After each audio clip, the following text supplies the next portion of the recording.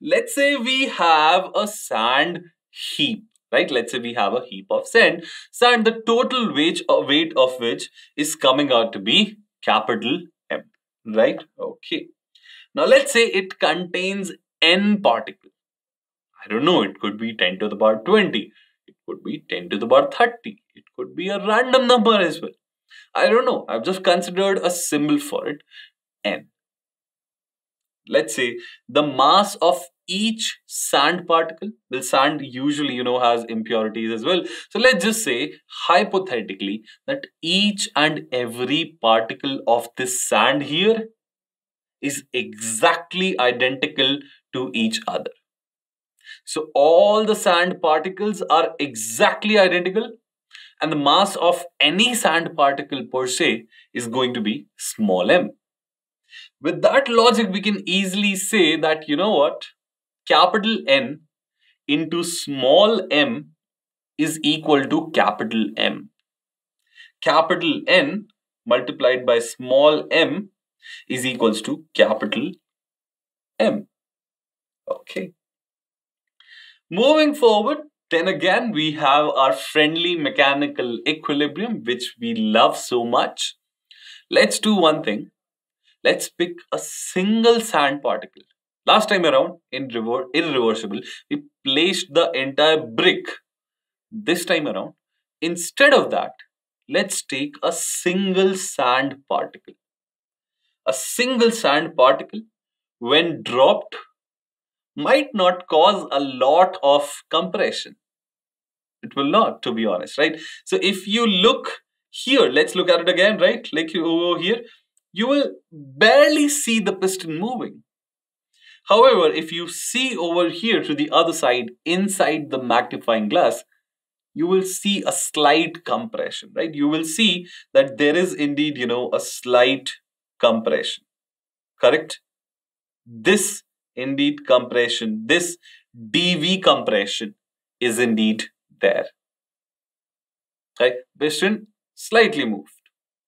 Okay. Now, think about it. External pressure that caused the compression was equal to P atmosphere, which was already applying, plus small m, the mass of one sand particle, that is mg by A, small m, right? mg by A. This we have done before, but we did for an entire brick. Right? So this is what we have. Okay. Now, if the external pressure, right? The external pressure, what happened? Let's say before the sand particle was placed, right? So before the sand particle was placed, the external pressure was P atmosphere. Then what happened? We dropped a single sand particle on top of it. So external pressure increased. Before that, what happened was, before that, the internal pressure and the external pressure, they were same. So mechanical equilibrium was there. All of a sudden, what you have done is you have dropped a grain or a single particle of sand on top. And so because of that, you have increased the external pressure you have increased the external pressure. Now, since you have increased the external pressure, what will happen? The volume will decrease. We saw the compression, the dV compression.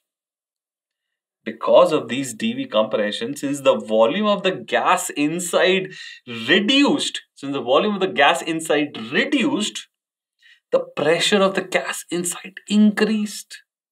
Isothermal Isothermal has the condition PV is constant, right? So if the gas inside the volume decreased even by a tiny bit, the gas inside pressure increased. And now the piston is stationary again even after you have dropped the grain of sand. Why is the piston, you know, moved a bit then stopped? Why did it stop? Because the gas inside, the teeny tiny increase in pressure. Listen again, because of the teeny tiny compression, the teeny tiny increase in internal pressure has made it equal to the new external pressure, which is the atmospheric pressure and because of the grain of sand.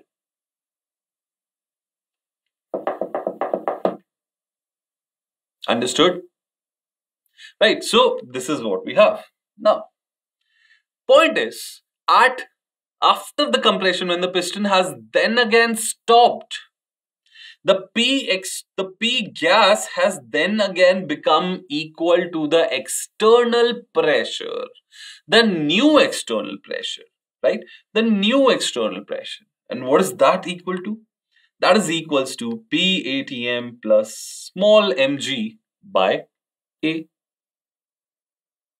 Okay. You know what? Let's go forward, right? Let's try to ascertain what will be the work done in this tiny step. That will be the P external during this tiny step multiplied by the tiny volume change. What is this? P ATM plus mg by A. What is this dV? And this we have the negative as usual. This is the work done between the first stage of compression. Sir, which first stage of compression? You didn't tell us that there's going to be more stages. Well, obviously they are going to be, right? We took an entire heap. Why would we take an entire heap if we meant to drop only a single sand particle? So, that takes me to the next step. That now the external pressure has become, after the addition of second sand particle, P ATM plus mg by A, which was the previous one, plus another mg by A because of the second sand particle. So the P external has now become P ATM plus 2 mg by A. And once the piston further compresses, further comes to rest, the P gas will also become equal to that. But before, when the second particle was just placed, the internal pressure was P ATM plus 1 mg by A before it was placed right? As it was placed it was still right? It was still p gas initial was equal to what? P atm plus 1 mg by a. And when the compression happened after the compression at the new mechanical equilibrium it became equal to p atm plus 2 mg by a right? And what is the graph on the right hand side denoting? That is then again denoting dV, right? This dV, this, this, this teeny tiny dV, right? Multiplied by P ATM plus mg by A. Then for the other one, P ATM plus 2 mg by A. And now, in a similar fashion, look, here it is, the mathematical part of it, right? You don't have to write it down. It will be provided to you. Chill out. Just try to understand. And don't get, you know, so scared by all of these, uh, you know, ugly expressions and calculations. They will not come in the examination. Examination will have a very beautiful, simple formula which we will derive towards the end.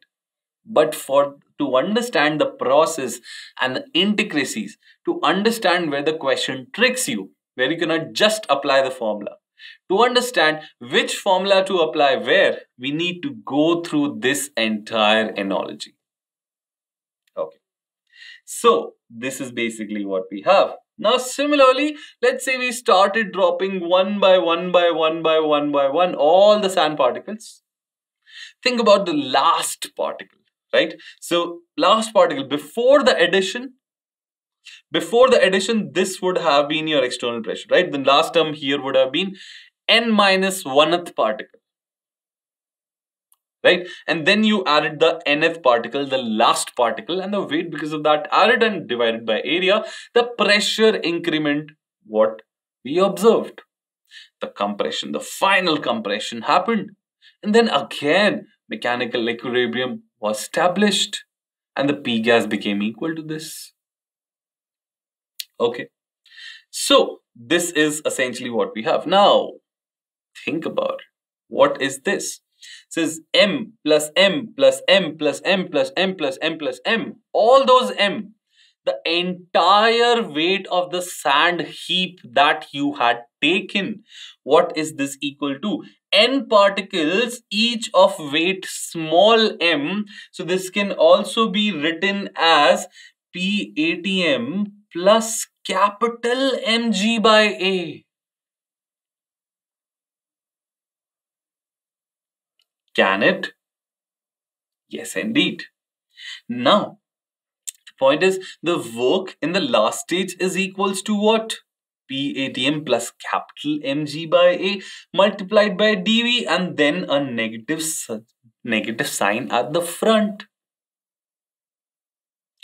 And if you have a lot of steps, that means that your number of particles were quite large. But if you have a finite amount of sand,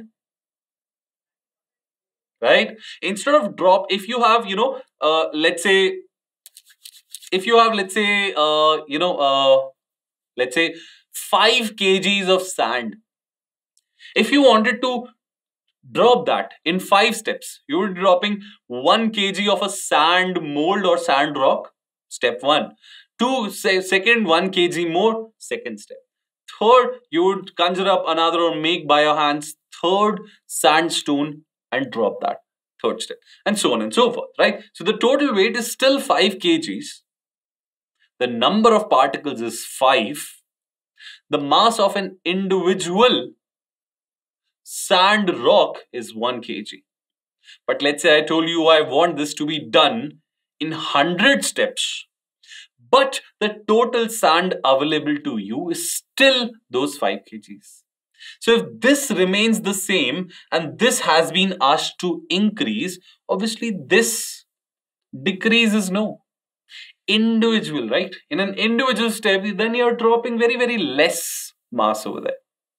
If you're dropping very less mass over there, you can expect that in the, uh, you know, sand rock of 1 kg, a significant compression would be there. In a sand particle over there, teeny tiny compression would be there. So when we do that, right, this graph takes a somewhat, somewhat of a smooth shape. But let's try to understand why that is so. Let's say, hypothetically, say, increase the number of steps to infinity. Infinite number of particles. That means, that means, right, infinite number of steps. N here means number of steps. And we know that if number of steps is infinity then n tends to infinity. What is the n? Number of sand particles.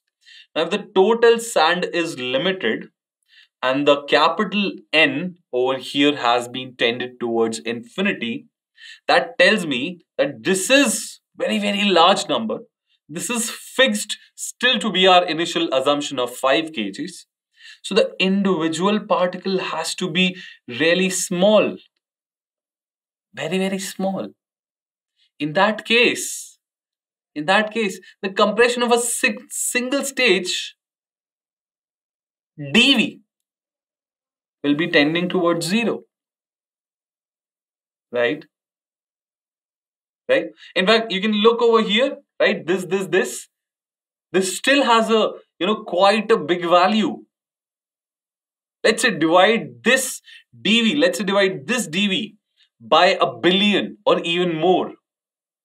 That is what I'm talking talk, trying to talk about. Very thin layer of compression. And if I sum all of these up, stack all of these together, you know, billions and billions and billions of these layers, I get the total delta V compression. Why? Why are we doing that? get that in the next session when we differentiate between reversible and irreversible. For now, what this turns out is that we get a very smooth curve. Why? Because the height between the buildings has become negligible. Why? What was the height difference between the buildings? mg by a, no? Because one was p atm plus mg by a, second was p atm plus 2 mg by a, third was p atm plus 3 mg by a. So this distance has become negligible because m, small m is tending towards 0. Also because of the very same reason, dv is tending towards 0. So this is also tending towards 0. Right? But then somebody is like, why isn't the graph collapsing? Because there are infinite number of steps giving you an overall finite volume compression. Okay. Cool.